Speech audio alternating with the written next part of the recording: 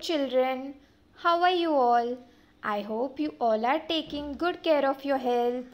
Today we are going to do a worksheet which is there in your phonics reader and workbook page number 49. Let us see what is there in this worksheet. Instructions. Read the words that begin or end with digraph sound th. Digraph sound th. Now th makes th and the two sound. There is short sound and long sound. Today we will be doing the long sound. Long sound of th is th. What is the sound? Th. Th. Thumb. The first picture is of th. Thumb. Th. Three. Th. Three. Th. Throne. Th. Throne. Th. Thread. Th. Thread. Th. Thorn. Th.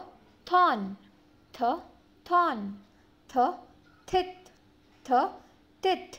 In tith at the end, th sound is there. In tith at the end, th sound is there. And the last picture is of bath. What it is? Bath. At the end, th sound is there. Let us revise one more time. The, what is the long sound of th? Th. Th. Thumb. Th. Three. Th. Throne.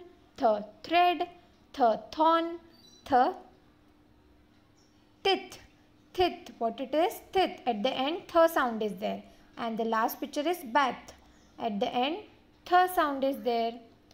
What is the long sound of th? Th. What is the long sound? Th.